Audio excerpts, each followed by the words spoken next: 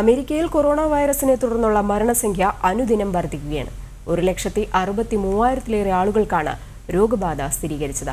Virus വ്യാപനം തുടർന്ന ന്യൂയോർക്കിൽ നിന്നും ജനം ടിവിക്ക് വേണ്ടി ഡോക്ടർ മധു തയ്യാറാക്കിയ റിപ്പോർട്ട് കാണാം. നമസ്തേ. ന്യൂയോർക്കിൽ നിന്ന് ജനം ടിവിക്ക് വേണ്ടി മധു.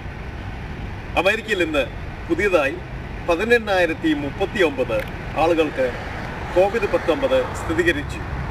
നാനൂറ്റി പന്ത്രണ്ട് മരണം ഇതുവരെ രേഖപ്പെടുത്തി ഇന്നത്തെ കൂടി ചേർത്ത് അമേരിക്കയിൽ ഇതുവരെ ഒരു ലക്ഷത്തി അറുപത്തി ഒന്നായിരത്തി അഞ്ഞൂറ്റി എൺപത് കൺഫേംഡ് കേസസ് ഉണ്ട്. അതിൽ മൂവായിരത്തിലധികം മരണം രേഖപ്പെടുത്തിയിട്ടുണ്ട്. ഇപ്പോൾ കോവിഡ് പത്തൊമ്പതിന്റെ ലോകത്തിന്റെ എപ്പിസെന്ററായി ന്യൂയോർക്ക് മാറി കഴിഞ്ഞു. ന്യൂയോർക്കിൽ അറുപത്തി ആറായിരത്തി അഞ്ഞൂറിലധികം കേസസ് ഉണ്ട്. അതിൽ ആയിരത്തി ഇരുന്നൂറിൽ മേളിലുള്ള മരണങ്ങൾ രേഖപ്പെടുത്തിയിട്ടുണ്ട്. ന്യൂയോർക്കിൽ സമ്പൂർണ ലോക്ക്ഡൗൺ സ്ഥിരീകരിച്ചിട്ടില്ല.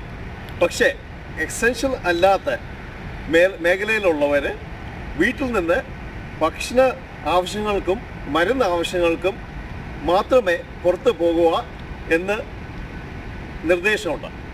പക്ഷേ യാഥാർത്ഥ്യത്തിൽ ന്യൂയോർക്കിലെയും അമേരിക്കയിലെയും ജനങ്ങൾ പുറത്ത് ഇറങ്ങാറുണ്ട്. പാർക്കിൽ പോകാറുണ്ട്. മെട്രോ മെട്രോയിൽ സഞ്ചരിക്കാറുണ്ട്.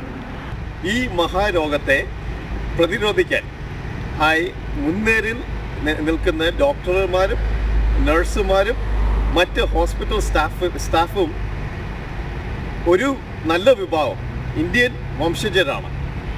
ഇവർക്ക് രോഗം പടരുമോ എന്ന ആശങ്കയിലാണ് ന്യൂയോർക്ക് സ്റ്റേറ്റിലെ ഏറ്റവും വലിയ hospital സിസ്റ്റമായ Northwell Health Long Island Jewish hospital മുമ്പ് ക്യാമറമാൻ സൂരജിനൊപ്പം ജനം ടി വി അമേരിക്കയ്ക്ക് മധു